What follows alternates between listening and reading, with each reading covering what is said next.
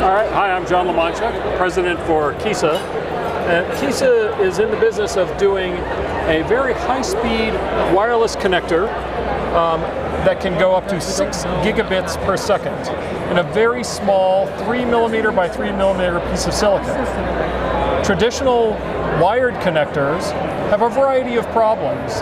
They have reliability issues, they can cause electrical interference, they often uh, will not work in the presence of, of dirt, or, and they can just break. By replacing connectors with our wireless technology, we can solve all those problems at very high speed with no interference with other uh, Wi-Fi or Bluetooth systems because we operate in the 60 gigahertz band. So, so here you have a demo. Yes, absolutely. Well, here let's start with the chip demo. Right. So here we have our chip I put this in the transmit mode and this in the receive mode. And you can see you bring them together and they connect. Take them apart and they disconnect. No software, no drivers, they just work because they are next to each other, exactly like a physical connector. So this can be used for a variety of protocols. We can do Ethernet, DisplayPort, USB 3, USB 2, PCI Express, any protocol that goes up to six gigabits per second can go over our wireless link and be transmitted with no loss of data. HDMI? Hmm? We can do HDMI. Uh, again, any high-speed serial protocol can be sent across our link. So here's an example of our technology being used for video walls. We have one cabinet of the video wall transmitting video to the other using Ethernet, and by just separating them, you see our two chips are being used to connect the two panels. Put them together and it works. Take them apart and they disconnect. No, no connectors, no cables. It makes video wall setup very, very easy. And you're also in commercial devices uh, uh, like consumer. That's correct. So the LG V50 phone, LG's dual display phone, uses the Keyssa technology to transmit high-speed DisplayPort video from the phone to the case. To the secondary display. That's correct. So you can see when the phone is separated, just a few pogo pins for power, and the Keyssa receiver is in the case. The Keyssa transmitter is inside the phone, and when the user just pops the phone in the case and opens it back up, then the second display is illuminated and that's going across our Keyssa wireless link at 5.4 gigabits per second. And by using the second display, users can enjoy a variety of added features. For instance, going into landscape mode will cause the, the, the keyboard to light up. And by going into game mode, you can create a game controller to now play games in the second display by using the controller in the lower display. All of this enabled with the Keyssa wireless technology. So it's a little bit like a wireless HDMI? Well, HDMI is very centered around video transmission. The Keyssa technology can do any protocol. So we can do data, we can do audio, video, anything. And uh, is it um, so it's going to be, for example, great if you want to do lab docs, connect maybe a phone to a larger display, like similar to that? Exactly.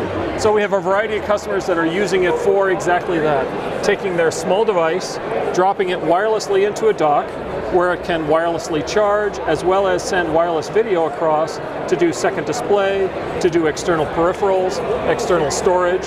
In fact, Fujitsu is launching a, a, ruggedized tablet that uses the Keyssa technology to go into a dock and transmit all that information to the peripheral devices. Uh, sometimes if you use a Type-C connector, you might get a little bit more bandwidth, right? 10, they're talking about 10 gigabit right now. So, is there any chance you might match that? So absolutely. So the Keyssa technology, one chip can go up to six gigabits per second. But because the connection is point to point from one chip to the other, we can gang multiple chips together to do as much bandwidth as you need. Wow. In fact, we have one demonstration of an uncompressed video connector being hooked up with 32 of our Keyssa devices, each one going at 3 gigabits per second V by 1 to create an aggregate bandwidth of 96 gigabits of uncompressed wireless 8K video. So that's really cool. So that's the way you scale is just more and more chips. Exactly. Could you make a chip that itself could do more, or is limited to this? Uh, yes. So certainly physically. in our roadmap, we are looking at expanding the capability of our device to go even faster. Um, but right now, given the, the speed of USB 3, the speed of Ethernet, 6 gigabits is covering a huge variety of applications. So you say wireless, but actually it's touching, right? Well, so one of the advantages of our technology is that it doesn't have to be exactly touching. It just needs to be close. So our connection can work about a centimeter in distance and about a millimeter and a half in X and Y. So it has much more mechanical tolerance than a normal connector. They just have to be close to each other. So um, you're pretty much talking with the whole industry right now, or the whole industry is in a dialogue? Yes, you know, one of the challenges uh, for us is which customers do we serve first? Connectors are in everything. It's over a $60 billion market, and we can essentially replace any mechanical connector in any system. So that goes for automotive, where we're in production, in medical and robotics, where we we're in production, in consumer electronics, uh, in displays, in PCs and tablets, uh, a really a huge number of applications for our technology. Uh, those pogo pins is on the V50 or the V8? No, which one? Uh, V50. V50. Is that the latest one? Uh, no, this was at uh, this particular one I'm showing you was demonstrated at last year's Mobile World Congress. Last year. So, but it'd be nice if uh, one of the companies like LG just put them in the, all their phones. It needs to become a new standard, right? Well, so that's one of the potentials. Right now, I think we're looking at both external and internal connectors. So I think standards are certainly possible, and we welcome the opportunity to work with a variety of vendors to do that. How about uh, it'd be nice if you had a wireless charger that also had your connection, so you could charge with the Qi wireless charge, or do you actually charge also? So our technology doesn't do Only power. data but we certainly are often used in, in concert with a wireless power connection because doing wireless power and wireless data at the same time means you could now create a completely sealed device, uh, a phone with absolutely no connectors on it that just relies on wireless power and our technology for wireless high-speed data. So you just put it in a wireless charger and boom, it makes the desktop display at the same time that it's charging Exactly. And there's no need to plug something exactly. in. Exactly. So you just drop it into the cradle and you have your complete compute environment with no connections at all. Is there any way that you follow the specs of USB uh, in terms of whatever is the latest USB, you will support it also? Absolutely. So we are continuing to increase our technology speed.